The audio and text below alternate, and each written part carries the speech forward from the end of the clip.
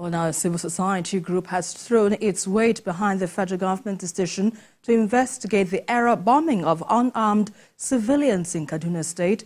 The Conference of Civil Societies called for support for the people of Tudun Biri in their time of grief while seeking restraint against making inflammatory remarks by social commentators. Sifon Isian has more on this.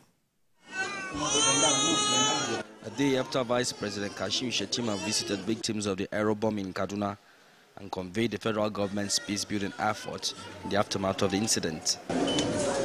The devastating incident that claims scores of lives continues to trigger more questions than answers. This group in Abuja observes a minute silence in honor of the victims that died in the tragic incident. May the souls of the faithful departed rest in perfect peace. Amen. Beyond empathy, the group calls for more support for the victims and restraint from inflammatory remarks by social commentators.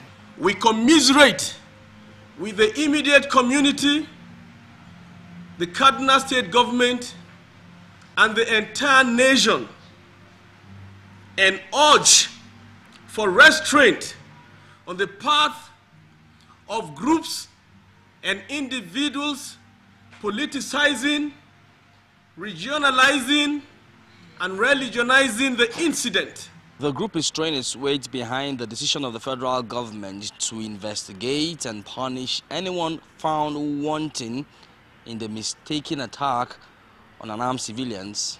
The Tudun Biri incident is the second worst bombing of unarmed civilians by government forces in the country.